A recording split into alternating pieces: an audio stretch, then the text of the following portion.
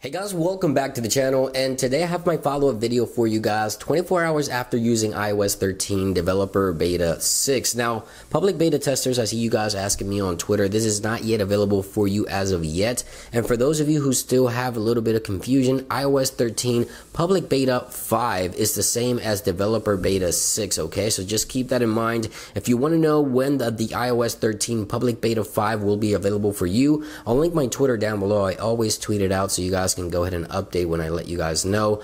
Now, before we do continue, a lot of you guys also have been asking, is Apple Card available in iOS 13? And the answer to that is yes. Yesterday, I did receive my invitation to apply for Apple Card and activate Apple Card. Now, a quick tip, if you don't see Apple Card invitation on your device, you can click on the plus button inside of the wallet application and then click on continue and your invite could be here waiting for you. So if you haven't seen it just yet, it's going to work on iOS 12 12.4 as well as iOS 13 Developer Beta 6. So I did get the prompt yesterday. Now let's get to some of the changes within iOS 13 Developer Beta 6 that I've noticed over the past 24 hours of using the software. Now the first thing I do want to cover is the new cut copy and paste menu that appears in iOS 13 Developer Beta 6. When you tap with three fingers on the screen, you get this brand new menu here for cut, copy, and paste. So if you're on a web page here and you want to copy this text for whatever reason, you can now tap with three fingers and copy the text right here to the clipboard. And then you can go over to notes, for example,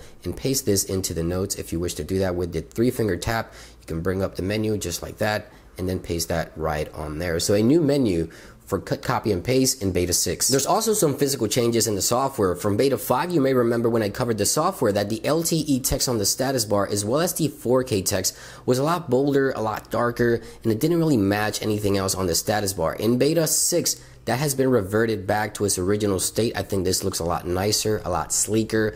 And the volume indicator, that's also been tweaked a little bit here. It now takes 16 clicks for you to reach maximum or minimum volume on the iPhone. It was 34 in beta 5. Now that has been reverted to 16 clicks.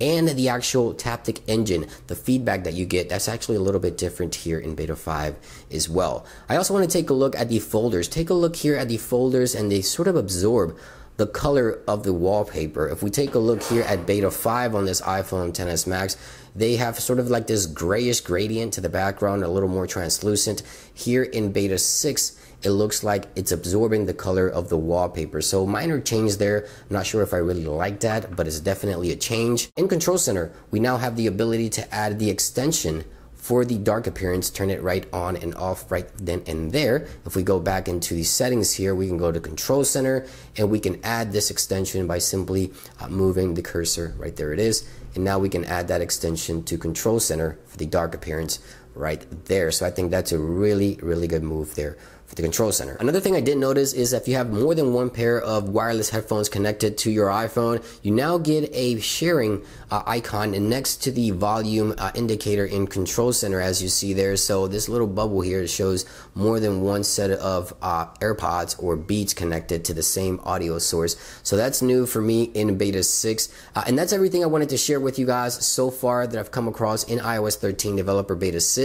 Of course, you guys can anticipate my follow-up video here in the next two to three days where I share with you guys how's the battery, how's the performance, is there any bugs and any major issues within the software. That takes a little more time and it's more devices involved. So I'll be testing again all the battery performance and bugs within the software. Expect that video here shortly.